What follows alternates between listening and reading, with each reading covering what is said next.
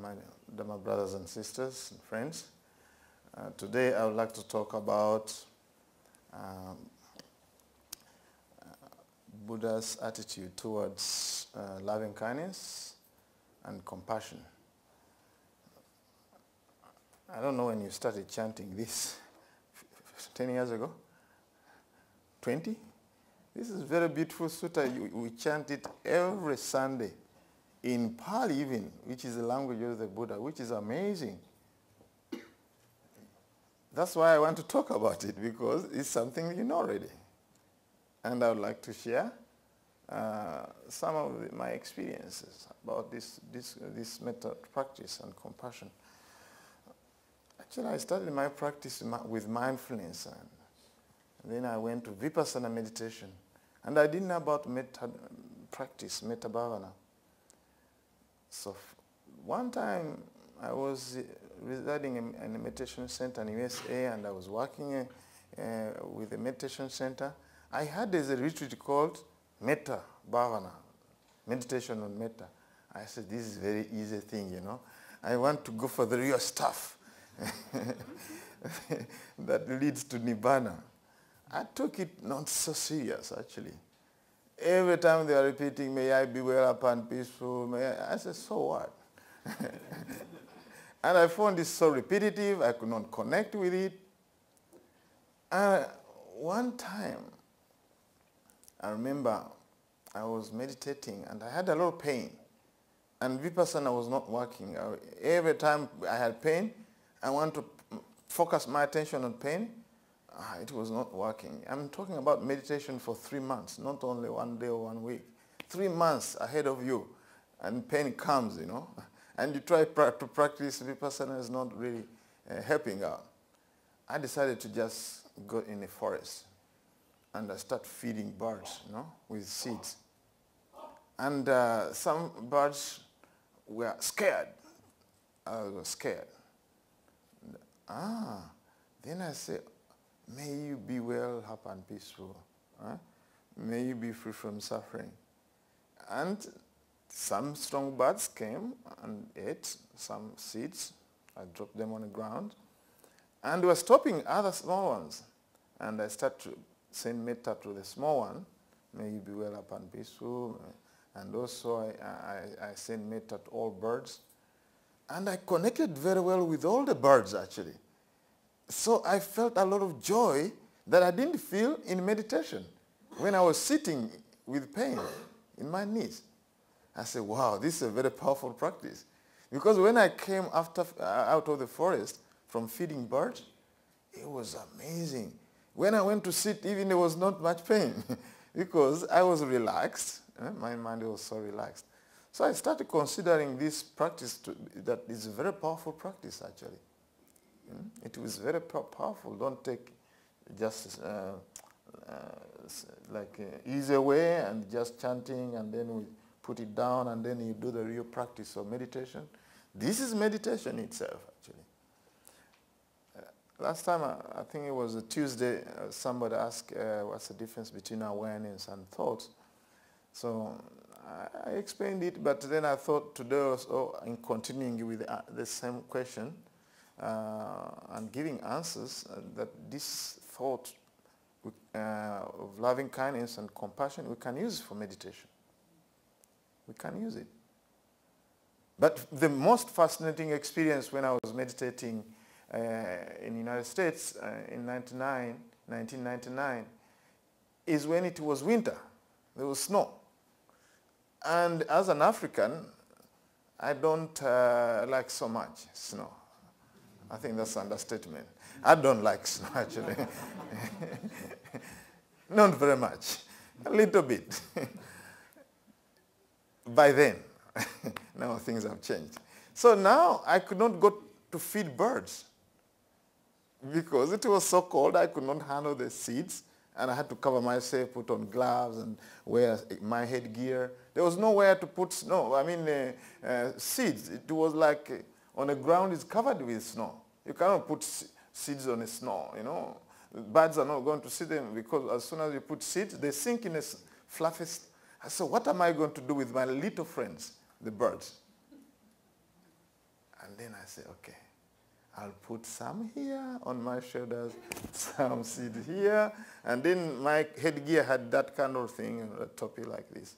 So I put some seeds here also like this. So I stood there in the middle of forest. Ah, lo and behold, they came landing on my head and took the seeds. They landed on my shoulders and took the seeds. I'm telling you, I was standing there. I was like airport for birds to land. they were just landing. I was enjoying it, actually. I was getting really, really happy about it.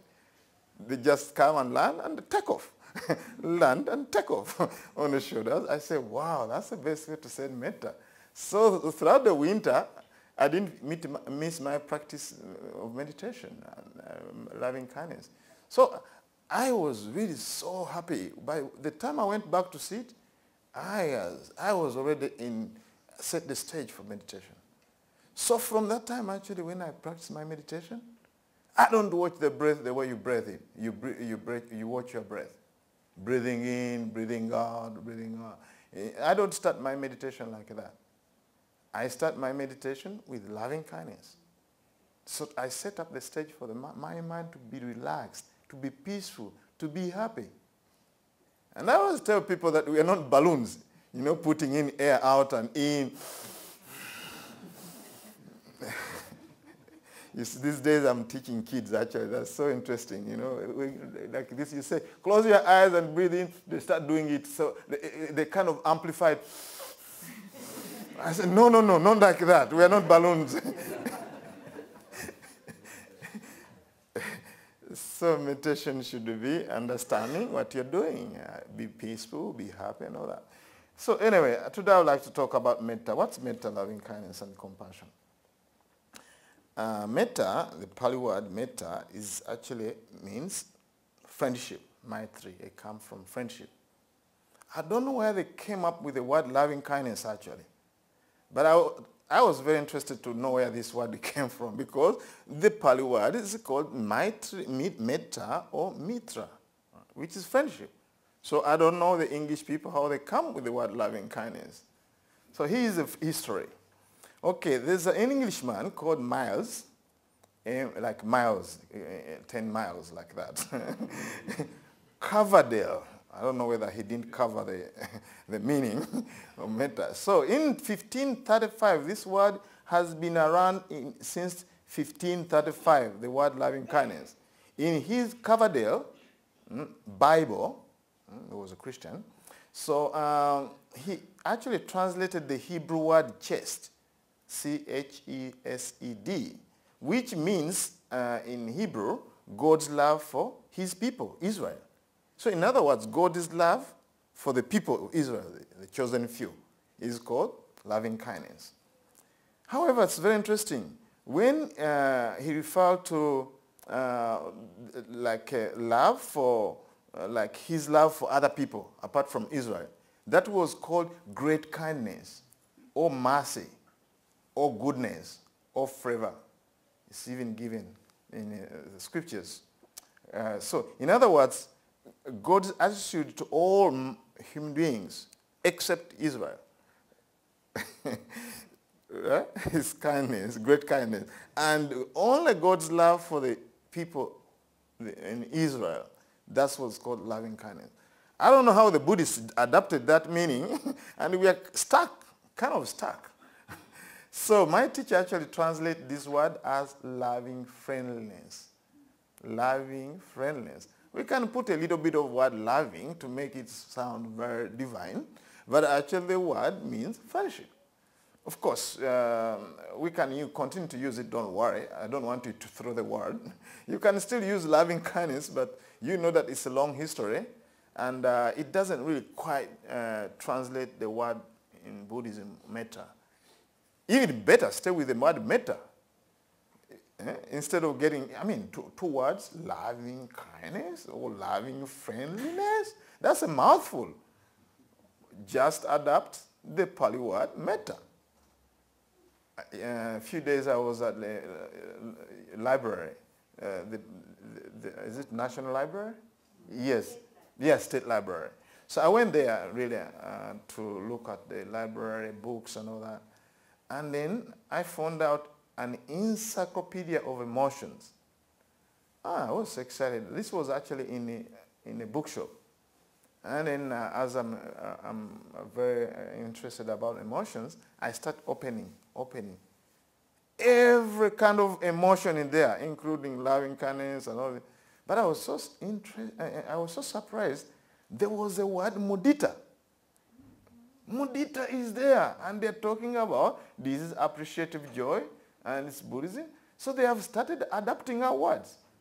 Instead, instead of saying appreciative joy, they say mudita. So I think stay with the Pali word and adapt them instead of really getting into, into trouble with the words. What's wrong with saying metta? After all, it's better with metta. Life is better with metta.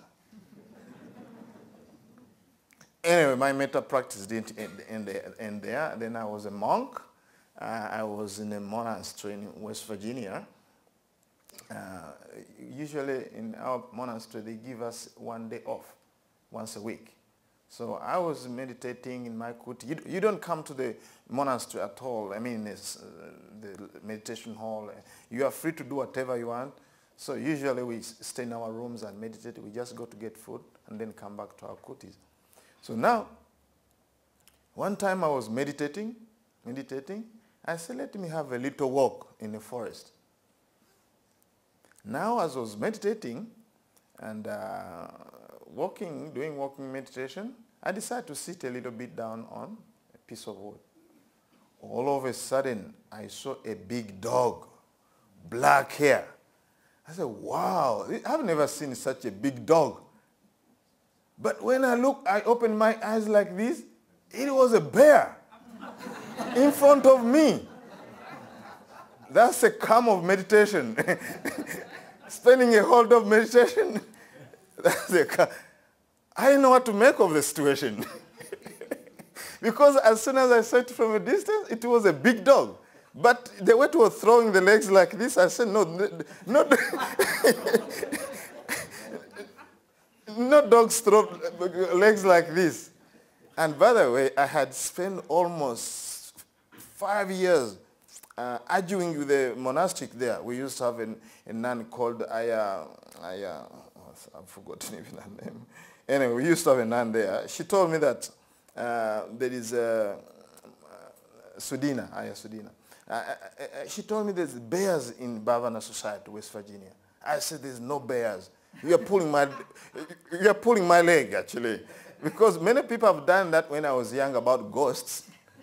I said, have you seen a ghost? I said, no, I've never seen it. Then uh, somebody told me, I go to somebody, and said, I also have uh, the, the ghost stories. I said, have you seen it? No, I haven't seen it. There's another person who has seen it. So I failed completely when I was growing up in Africa. So the same bear, bear story in West Virginia, uh, because we stay in the woods, you know, I didn't want to believe. I was in self-denial. I don't want to believe there's a deer, I mean bears around the monastery because it's a big monastery and we are in the forest. So I said there's no bear. He said, no, there's bears.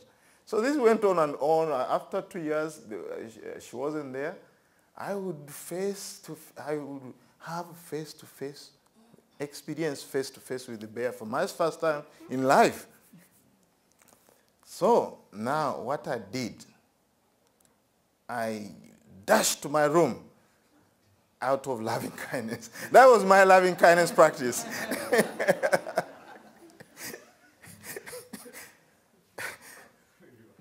be real, you know. you have to be real. I didn't sit there. May you be well up and peaceful. sit on my lap here. After all, metta's loving kindness for all beings without exception.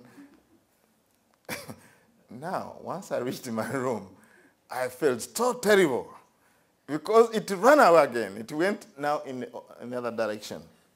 I looked at the bear running and eating something. I said, now maybe it's time to practice compassion.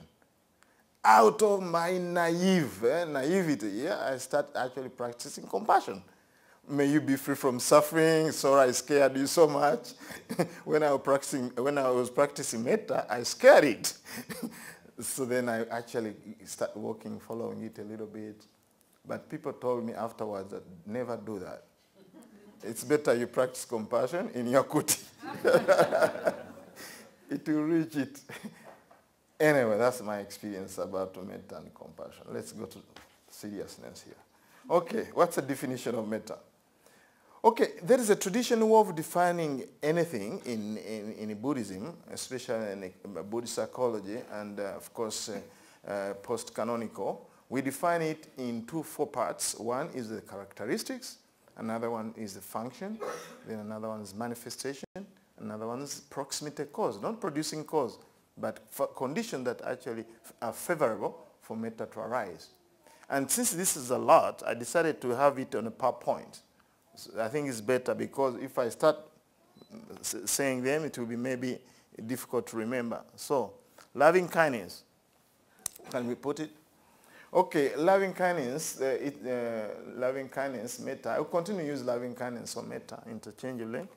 Okay, I would like you to see the words themselves, all right? So now we are here, isn't it? Where are we?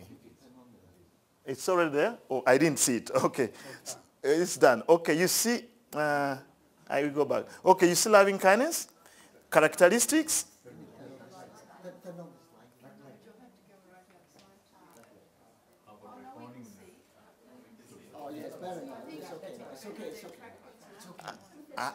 Actually, that's why I want to use a powerless point.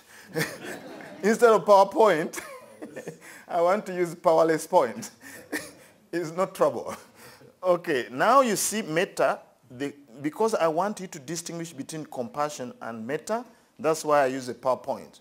So the character, characteristics of metta is promoting welfare, right? Promoting welfare is the characteristics of metta. And its function is to prefer well, welfare, right? That's how it functions. And its manifestation is removal of annoyance. Right? Yes. So if it, it removes the annoyance, that means, or ill will and all that, that means it's manifesting. And then proximity cause, proximate cause is seeing lovability of, of beings. So this is when you practice metta, you don't focus on negative part of beings.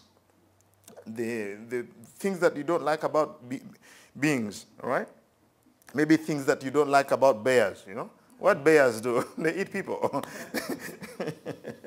so if you want to practice metta, you practice on some good things about bear, you know? Yeah, so actually it's a beautiful animal. It will be very good to look at it at a distance. Yes, so this is how we define metta. If you are to define metta within those four areas, then you have captured the whole meaning of metta. So you won't be confusing it with other kind of love like Pema. You know, there's another kind of love which is called Pema. Pema, this is a love between uh, relationship, boyfriend and girlfriend, wife and husband, any kind of relationship where, uh, with all different permutations is actually called metta. I mean, sorry, Pema. Now, uh, for the other also relationship between son and husband uh, and uh, daughters and sons and parents, that's also called pema, gehisita, pema, household uh, love. So that shouldn't be confused with metta loving kindness because this is, is actually called appamanya. The Pali word for metta, uh, is, it belongs to a group of mind states which called uh, uh, Brahmaviharas and all the Brahmaviharas are called appamanya, um, uh, which means boundless, boundless states of mind, right? Boundless. That means the beings you send this kind of metta are boundless. There's no limit to them. So that's very clear. Now we go to compassion. Compassion, the Pali word is karuna. So uh, promoting allaying of suffering. That's, uh, that's uh, karuna, uh, which is compassion. And uh, function is not bearing the suffering of, of others. And then man, its manifestation is non-cruelty, and uh, proximate cause is seeing helplessness in those overwhelmed by suffering. So if you can, uh, if next time somebody asks you to define this mental state, you know what they are now, right? So we continue. uh, when metta succeeds, right? So it succeeds when it makes ill will to subside. So it fails when uh, it produces sentimentality. And then the way to, purify, to purity is for one who has much ill will. So if you have much will in your life and you don't know what to do with it, so please, practicing metta. And then uh, we talk about near enemy. Uh, in other words, it masquerades it. It masquerades itself or it disguises itself as attachment. So in other words, attachment is not the same as metta. That's very important. So then far enemy, that means the opposite, uh, is ill will. That means your will is ill. All right? I'm playing with words. When your will is ill, you, you have what you call ill will. so in order to overcome ill will, you have to practice goodwill. Very simple. Now, there, here they compare it like a mother with a son. Uh, of course, we can't put the father, don't miss out, my friends. you know, this is ancient India, you know, one, over 1,500 years ago, you know. Uh, this is a commentary work, but also we find it in, a, in the sutras, which is 2,500 years ago. It has Indian background, how the mother feel actually about their sons. But don't feel that the father is out of the picture. yes, yes. That's why it's a child. Actually, yeah. Actually, here it should be child, not a son. The son is more again the cultural background of India because son we are very valued those days. Now we can validate this as a parent with our own child. Yeah, we can actually do these things because we are now in a different cultural background and all these things. Okay, this is very important. Who is a baby? For she wants him to grow and thrive. That's a very, very good simile. Uh, love, uh, the parents, they, they love their children actually. They want them to grow and thrive.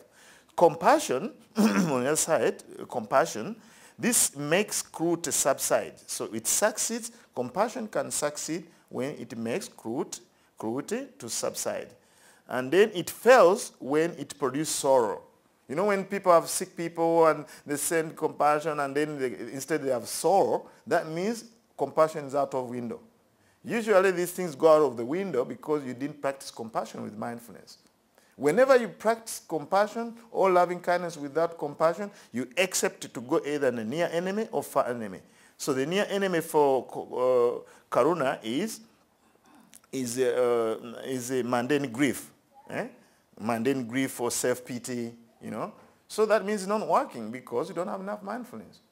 And then uh, uh, it's likened to, um, to a mother or a parent who is ill, I mean, uh, the, the, when the child is ill, and uh, first she wants the illness to go away because there's no parent who wish the children to be sick, you know.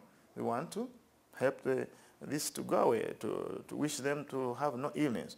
So that's by way of definition. I've given the whole definition about it. Now we can uh, chat for, for a while. Okay, now we have all this. I hope now we can distinguish between uh, compassion and metta. And also this definition brings us to another area of trying to find out whether these states of mind are the same in other traditions. Because other traditions talk about these things. Are they the same or different?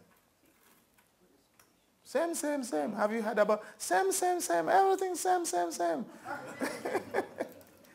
yes, same, same, but different.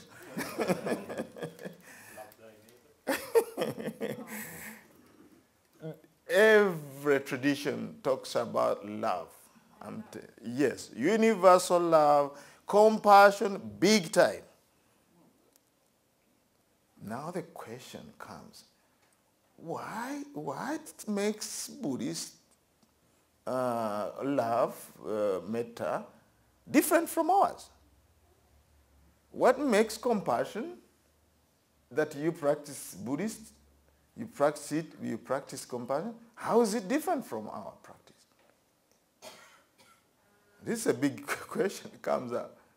It's the same word. But as I told you, it's better these words you leave them even alone. Karuna is, you cannot translate karuna as compassion. Actually, that's actually far short of what the Buddha intended in this practice of karuna.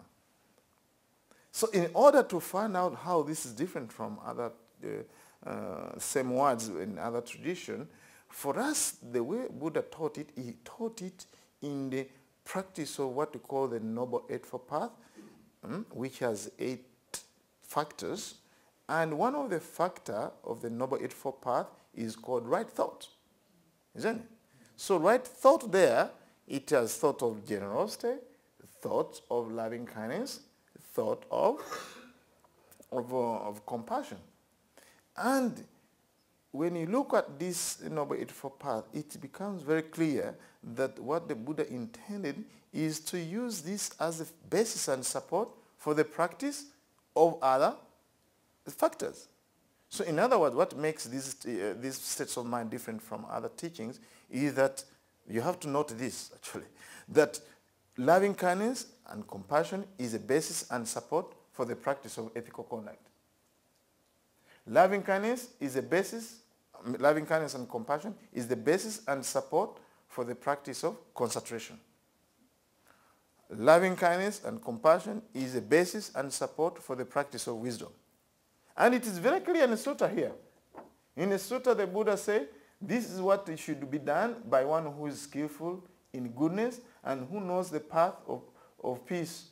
Let them be able, upright, straightforward, and gentle in speech, humble, not conceited, contented, easily satisfied, and burdened with duties, and so on. Let them not do the slightest thing that the wise would later reprove.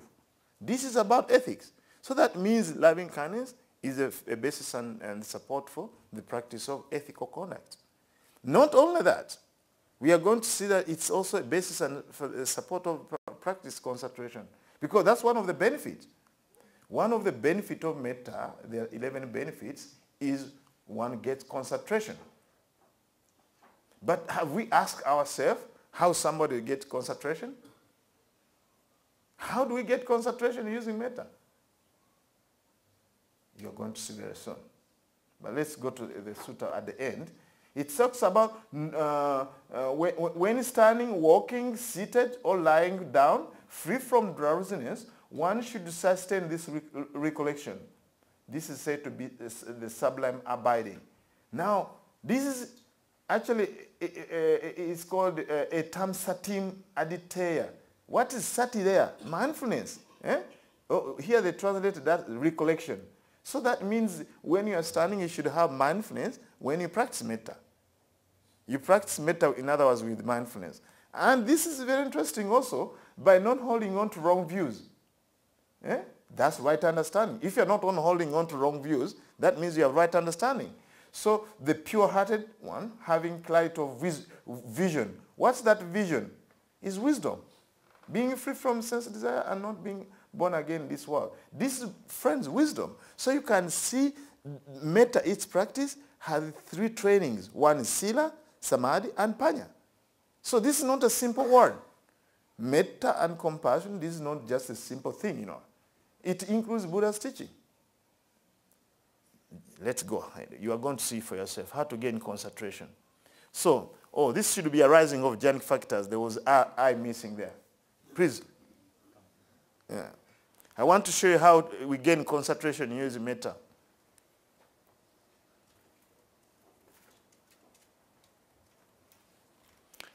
Okay, so uh, let, let darkness be there.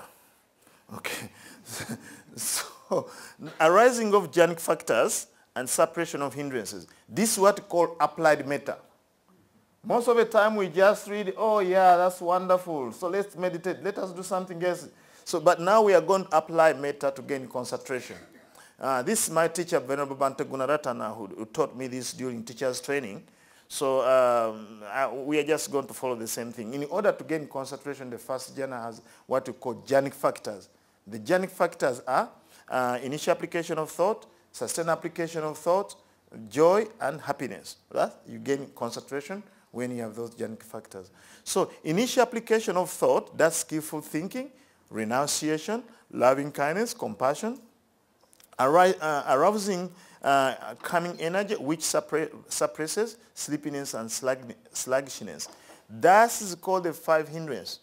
Uh, one of the five hindrances is called uh, sleepiness and dullness. So when you practice loving kindness, eh, you will overcome sleepiness eh, because it energizes you. Eh? May I be well, happy and peaceful, and you feel happy and peaceful, and all beings happy and peaceful. You, you, you, have not, you cannot just doze off like this because you are so happy, isn't it? So in other words, uh, this helps us to suppress one hindrance. And then as you continue, that's what we call sustain, to continue.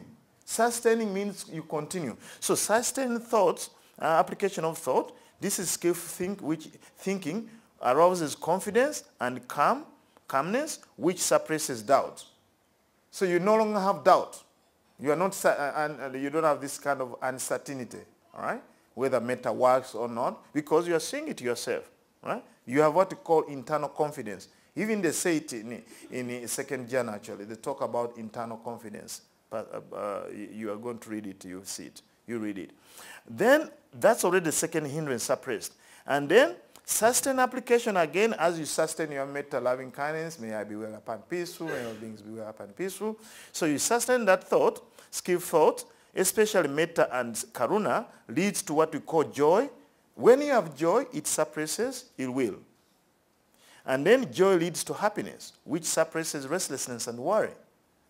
And happiness and renunciation, the thought of renunciation, leads to concentration because uh, uh, when you have uh, you suppresses desire, definitely desire and concentration they cannot be together.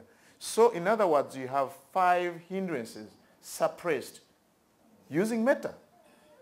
Before we started about how to use mindfulness to suppress five hindrances, but here I'm illustrating to you that actually you can use metta, loving kindness, and compassion to actually gain concentration. First jhana. I think that's enough. Think about it. you don't even think about it. Practice it and you see for yourself. So this is what I think I would like to offer in this talk. Using metta to gain concentration. Not only just become uh, happy. Yeah, happy, happy, happy. No. we are happy. Use it as a basis and support to gain concentration and use it as a basis and support to gain insight meditation. That's my offering to you today. The rest is going to be just, oh no, I haven't finished. okay, let us shut it down. There's, there's still more to talk about. Myth about metta. You can now open. Now it's done. We are done. okay. Some myths. We have a few myths here about metta. We have to go through them. One is cultivating metta towards oneself is ego-centered. This usually come in the West where they told them self-love is not good. You have to love others. You put others before you. All these stories we have heard about these stories.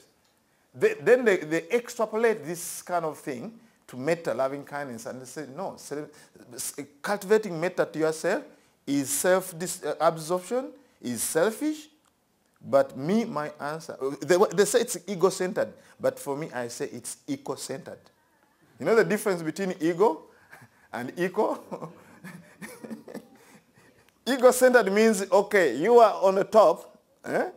And all people are be, be behind you, behind you, uh, below you. Yeah? So you are ego-centered. But I say it's eco-centered means all beings are together, living together in a home. We are sharing all one home. Isn't it? We are sharing all one home. We, we, have, we all suffer. and all of that, we, we want happiness. I don't care whether you're Trump or whatever. We are sharing the same home, you know. Isn't it? So it's rather, we, we would rather say it's self-interesting. Eh?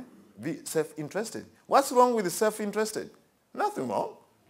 I'm self-interested. but people confuse self-interest, uh, self-interested with selfishness, you know. So it's actually, this is kind of what we call empathy, right? Comparing oneself. Yes, that's empathy. In fact, there's even a, a, a, a, Pali, a, a, Pali saying, um, a phrase which is say, uh, uh, having seen that all beings like oneself have a desire for happiness, one divorce methodically loving kindness for all beings. So you, when you practice metta towards yourself, you have to, you compare yourself that, oh, I, as I like to be happy and peaceful, then I like also other people to be happy and peaceful. Hmm? Atupa maya sabesa satanam suko kamato pasitwa kamato metta sabasate subhavai.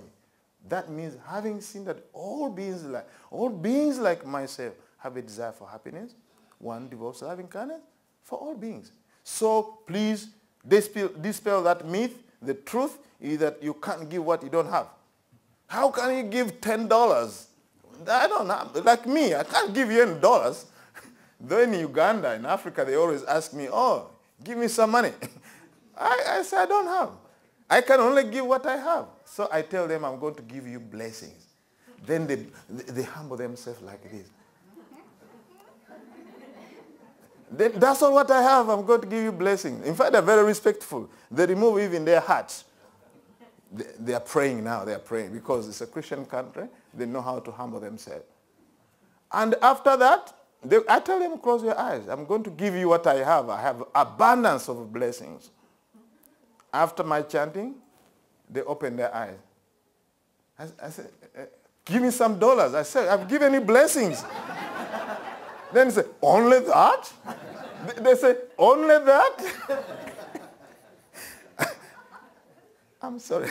So how are you going to give metta when you don't have it? So you have to first have metta and cultivate it and then distribute it. It's very easy to distribute what you have. In fact, when you cultivate metta, loving kindness, may I be well up and peaceful, and then you are fully charged. You are fully charged. Then you can send it to your friends. You start with friends. So easy. Eh? You give a little bit to your friends, maybe 10% to your friends, then another 10 to your uh, teachers and benefactors, another 10 to to neutral people like those who drive trams. You don't, you don't talk to them, you know garbage people, another 10% to enemies. It will be difficult. Maybe I, I, reserve that for maybe for, I reserve myself. You know, you must have some kind of reserves, you know. A little bit reserved. Maybe you can give grudgingly 10% of metta. To heck with you. you know? and then you give the rest of beings, all sent beings, you know. Very easy. I tell you one trick not secrets, because in Buddhism we don't have secrets. This is a, a, very good thing that works out very well. If you are sending metta to, fr to, to friends, neutral people, and you, you are kind of uh, blocked by sending metta to difficult people, don't worry. We have a, a very good practice which is called bypass method. Bypass method. It works Skip the difficult person, the enemy, all those people are nasty. Skip them. Send loving kindness to all beings. Kangaroos, uh, wallabies, and uh, and uh, anacondas, piranhas, elephants. I'm talking about elephants in Africa, not in Sri Lanka. because elephants in Sri Lanka is different from the one in Africa. Africa, they will just tear you into pieces. so give loving kindness to all beings. And then only at last, when you are fully charged with loving kindness, I say, get this. I'm telling you, you won't mind, actually. you, you will never mind sending loving kindness to a very difficult person. I've told you what to do. Bypass method. It works. Okay, let's go to another myth. Uh, metta practice leads to too much love and too, too much softness and people will take advantage of me. So I better cut back on my love. Metta. That's amazing. How can you cut back this quality of mind and heart? It's just overflowing. You can't cut back. So this is a myth. Please the reality is there's no thing, there's no such thing as too much love. Nothing wrong with too much love. The more you have, the better. In fact, we monks, we have to do that a lot. we, don't have much, we don't have children, we don't have wives, and, oh, wife, sorry. no girlfriend, nothing, no fridge. Sometime a little bit. Uh, no movie, nothing. So we have to cultivate this loving kindness to embrace every human being. My, one time somebody asked my teacher, Bhante Gunaratana, why monks don't do hug? Why monks don't hug or don't hug people? My teacher was very wise. At that time I was still in Washington, D.C. It was a warm day in winter, everybody cozy, comfy, you know, a lot of a fire, you know. In, in winter, it's a bit cozy, you know, especially in a small room. So it, makes sense after giving a talk, you know, everybody want to hug each other. And my teacher said, no, I don't accept a hug. Now, the person was so curious why monks are very cool. They don't accept the hugs, actually, from other people. They don't love others. Actually, that's what, uh, that's a problem I face actually a lot. In teaching, especially in Brazil, it's a very warm country. Even when they tell them monks don't, don't hug, they hug, they come. I say, oh, oh, oh. Sometimes I nearly faint, actually. Sometimes I feel like fainting, actually. Eh, eh, eh, they say, I like your Dhamma talk. Woo!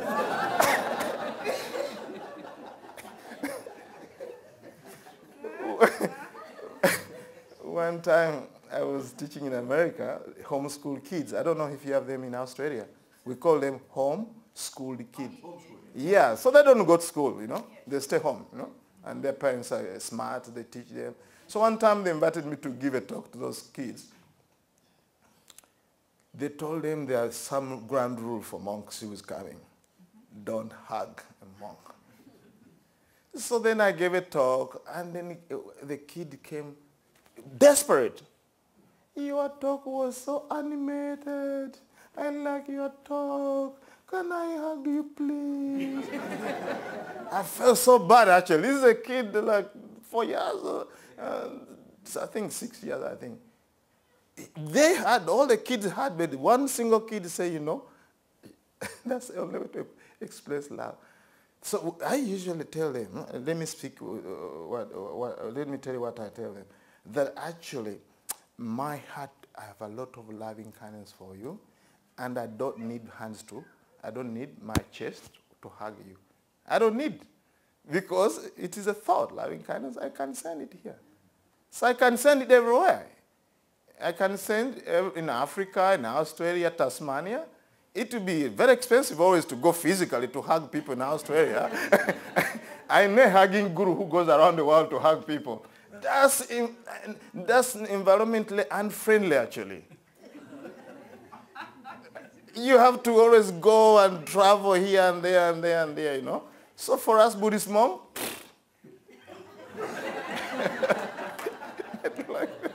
So we love all beings. We just keep on saying, like, it's very easy. You know, it's called ER, e hugs, you know, electronic hugs, or cyber hugs. cyber. and my teacher told them uh, something like this, you know, he said, you know, uh, you know, monks, you know, are friendly with everybody. All who are my friends, you know. If I, argue, I hug you only one person, I have others. So that was a wise teacher. He's still there, he's 96. He's 80, 89 now. Yeah, he's a wise teacher actually, I like him. He's very friendly. I love, I love him so much. Anyway, where are we now? There's nothing like too much love. That's a myth. Right? The more the better. Right? As I told you, it's better with metta. Okay, metta is the same as universal love. I told you that. It's not the same. Something different. Not quite. This is more than that.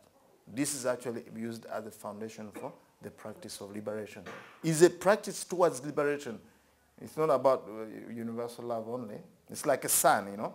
It's also, of course, it shines everywhere, but we in Buddhism, we use it as for the practice of uh, liberation. Another myth here. Metta is unconditional love. Ah, big one. metta is called boundless. The only thing in Buddhism that is unconditioned is what? Nibbana. The only thing in Buddhism which is unconditioned is called Nibbana. So metta is still conditioned. It's conditioned by thought. These are conditions.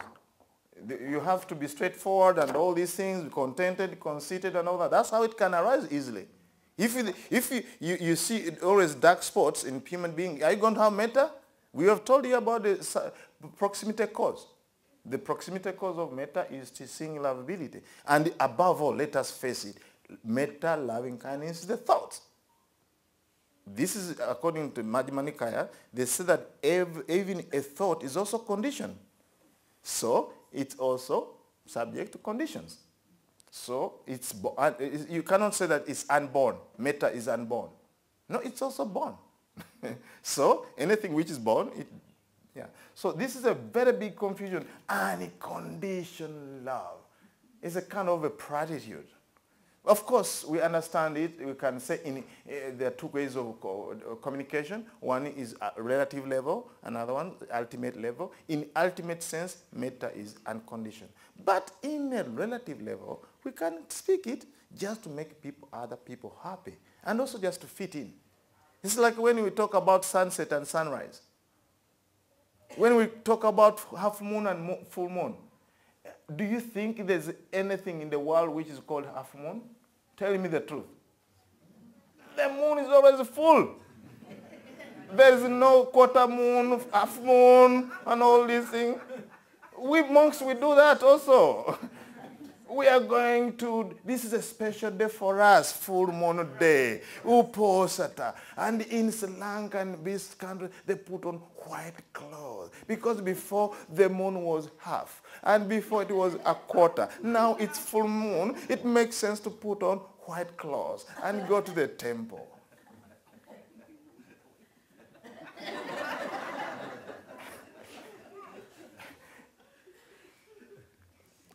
okay, we are not going to take people to court.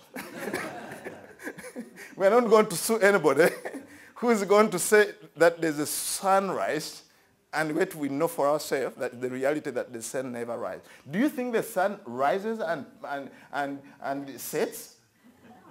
Do you think so? What? Happy matter. Let us face the truth. Okay, what this means that, okay, when we are speaking, we have what we call relative language, relative reality, and ultimate reality. I'm not saying don't use the word unconditional love. I'm not saying don't use it. You use it, but you know what sense you are using it. That's very, very important. That's the whole idea. Okay, another one. Uh, metta protects you from poison, weapon, and fire.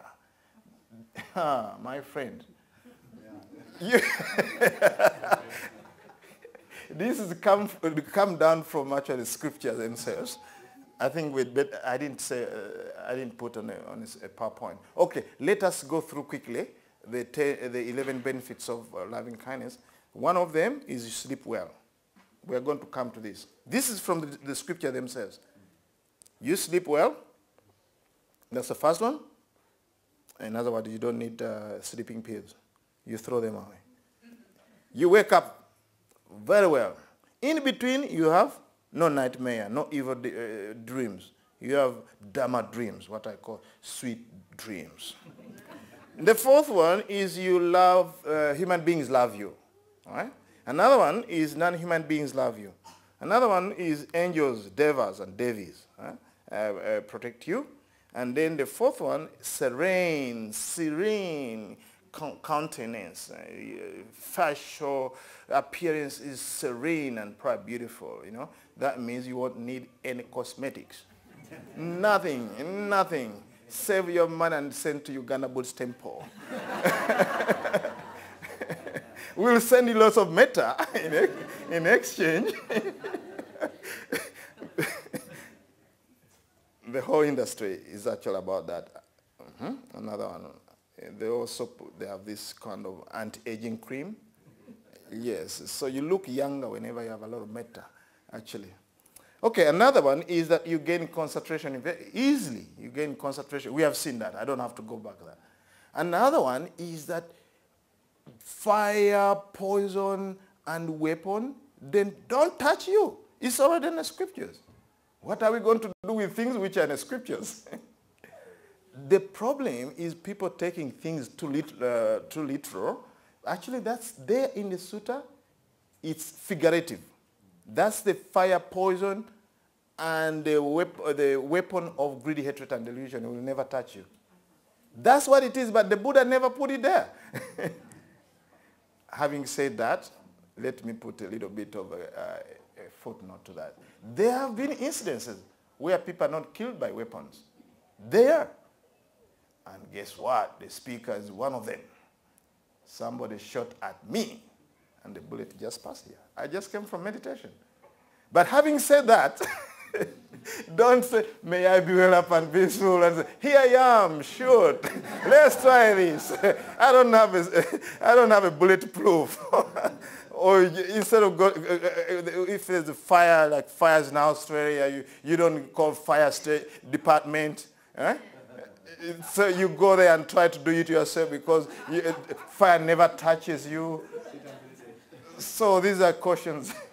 there have been instances actually where people were shot, uh, where had pro- people a problem and nothing happened, but try to uh, use your, your, your mind and not fall into danger. Yeah. So another advantage is that you actually, you, uh, you, you, you, when you die, you die peacefully. It's like you're like sleeping. When you die, you're just like sleeping. Oh, he has gone to sleep. like now, that's why they say he's, he's put to sleep now. And then if you don't attain final enlightenment, you actually, if you don't reach final enlightenment, you appear in a Brahma world, in a heaven, like this. Before it was like this, now it's like this. So who want to forego those benefits? You don't want to forego those benefits. So the good thing is that the benefits of metta and compassion, it's the same. The benefits of metta and compassion the same. I didn't talk so much about compassion, uh, but you know that the difference between compassion is the, is the object. The object of metta is you wish somebody to be happy, and the object of, of compassion you, you, is you wish, you wish somebody to be free from suffering. That's why I didn't talk about it so much, because of that. So here's the last question. Last question I want to give you. If there is a robber, I think most of you know this. If there's a robber and he want to kill you, and say, please, I'm going to kill you, and he gives you a choice between you, your, your parents, difficult person, and a neutral person, all those four people, please tell me who should you give? Yourself? Your friend? Neutral person, neither friendly or unfriendly? Or the difficult person? That's the answer. Because we are going to Q&A now. I've, asked, I've set up the stage for Q&A, right? Tell me what will happen. A robber want to kill four people. One is you, another is your friend, another one neutral person, another one your enemy. All of you are there in your room. Where is the young one? This question is good for young one. Come, come. Endako. Come. I like to ask the young one. Where are you from? Uh, Come, come. Where are you from? Here. Where are you from? um, like, Carnage? Where are you from? uh, Which town where you come from? Glen Waverley. Ah, okay. Suppose a robber comes to Waverley. And then there is you. hmm, And there's your, you have enemies? Unfriendly people? No. No. Okay, sir. Oh, too bad. This is not going to work. Oops. Very good meditator. Go back to your place. okay. It's not going to work. He's a metta girl. okay. I'm going to ask the adults. Okay, four people. Whom you would you give?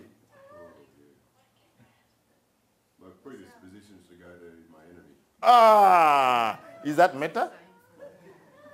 Well, Well, so you see, metta is actually, it smoothens out everybody, whether you are enemy whatever, all them, all people are what our love, including yourself, your friends, your neutral person, your enemy. So the answer is that you wouldn't give any of them. None of the above. That's it. That's the answer. if there are choices, A, B, C, D, and E is none of the above, the answer to that question is, is E. Thank you very much. Thank you very much for listening to this talk. So uh, we are going to open it to Q&A, all right? Because last time I didn't give Q&A, we want to spend some uh, few minutes, like five minutes, for question and answer session. Thank you very much for listening. Uh, okay. Bhante, you put the question what the difference is between loving kindness uh, in Buddhism and in other religions. Hmm. In Buddhism, according to your explanation, is 100% be kindness. I, No, no, I can't hear, unfortunately. Can you give a, a mask? Yeah, sorry, we, we have to give you a, a, a, whatever. Ah, those who want to go, you are exempted from being here. So, this is the Q&A, is just uh, questions, okay? Mhm. You put the question of the differences between loving kindness in Buddhism and uh, love, universal love in other faiths. Mm, I wanted to say, what I wanted to say is, there isn't a single trace of cruelty and kindness in loving kindness, whereas it is there in other, there is um, harm being happening in other forms of love expressed in other uh. I don't know, uh, that's what I. So you are saying that the difference between loving kindness in Buddhism and loving... There is a single trace of cruelty or harm in Buddhism, In Buddhism? yes.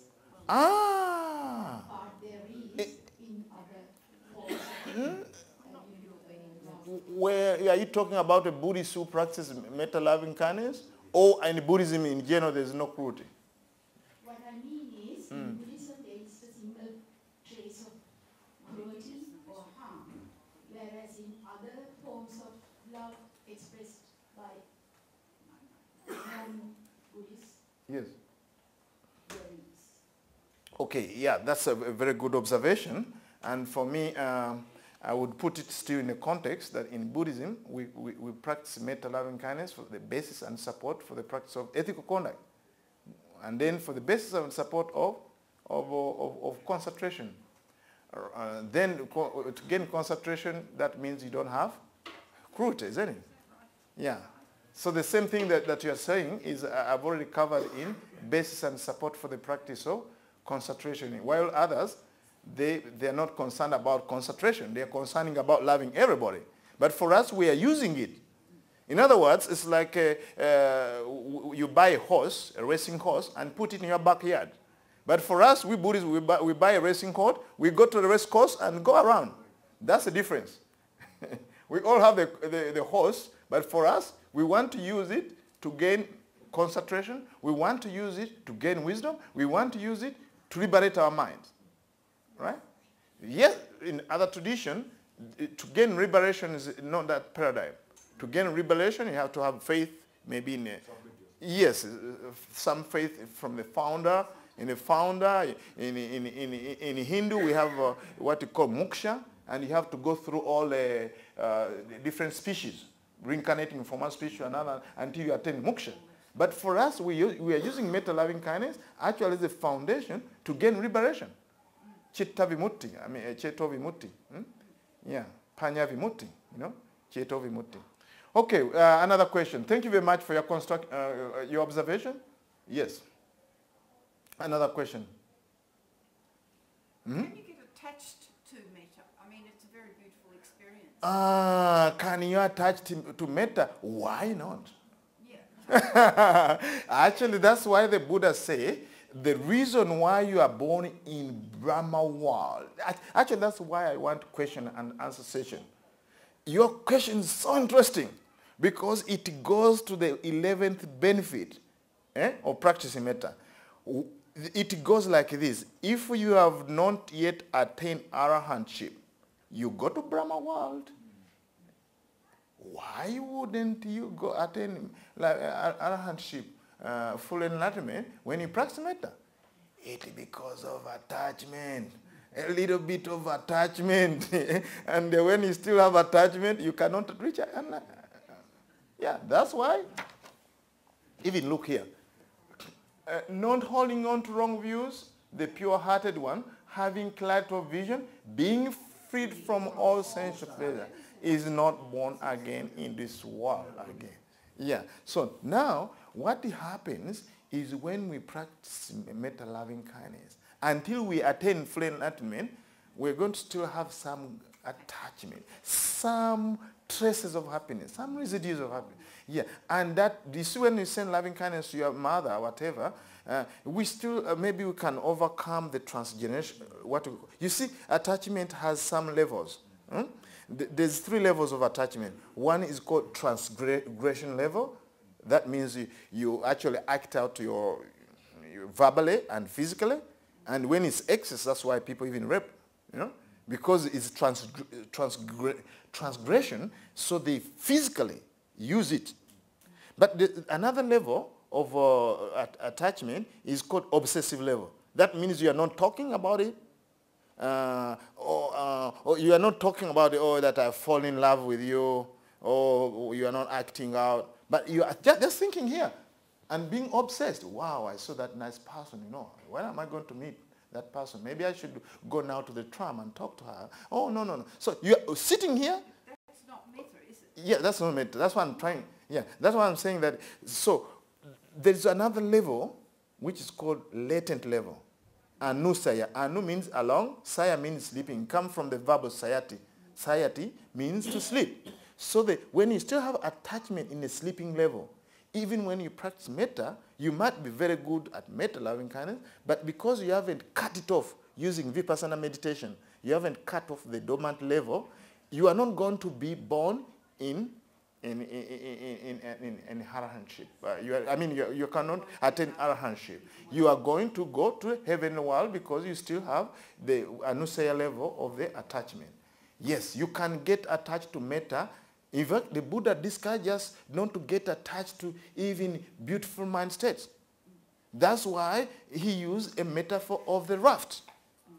In uh, one sutta called the simile of the snake, the Buddha said that even my teaching is for you to cross the ocean of suffering.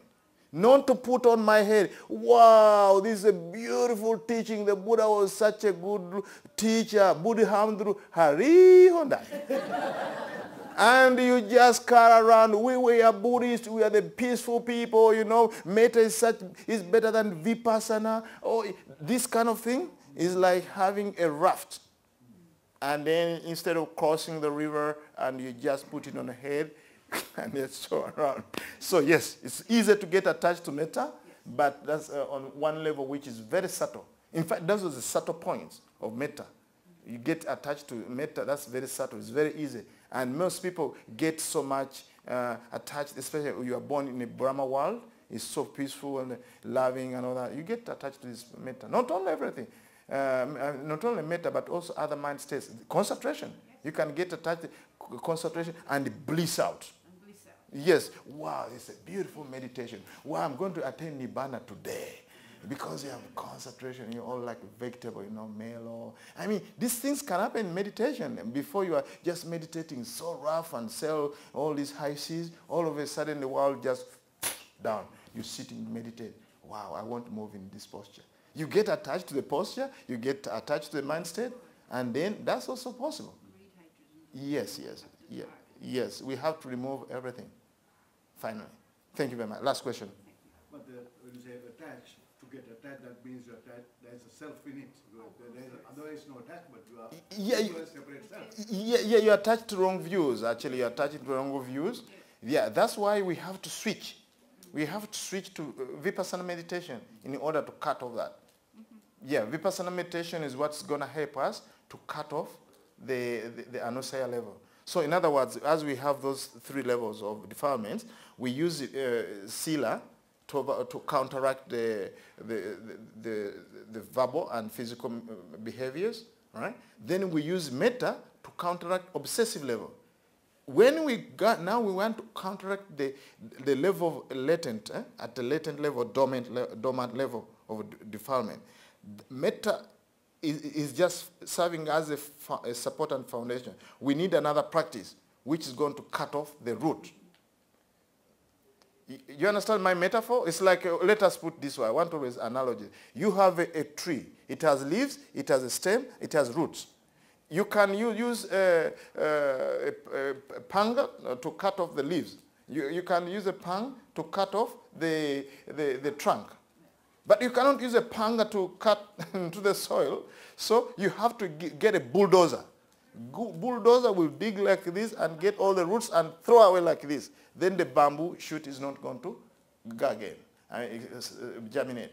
So in this case, we, we, we have sila, uh, uh, five precepts to help us to overcome the transgression level of defilement. Then we have samadhi, uh, I mean, yes, samadhi, concentration, which is part of the metta practice. We can concentrate. And then uh, when we concentrate, we cut off the obsession level. When every time you're thinking about aversion, about, about this attachment, and then that metta can help. But in order to cut off what we call latent level of defilement, we need a combination with concentration, we, uh, as we practice metta, and then vipassana meditation. So when we have vipassana meditation, which means insight meditation, and concentration, and you want to uproot, you hold like this and put it over there. That's what the analogy is. That's where the hard work is. Yes, we are going to still have metta, but there's an at- attachment. That's why we cannot realize an a- arahantship. That's the reason why you go to Brahma world. Yeah, that's really profound question. Anyway, thank you very much.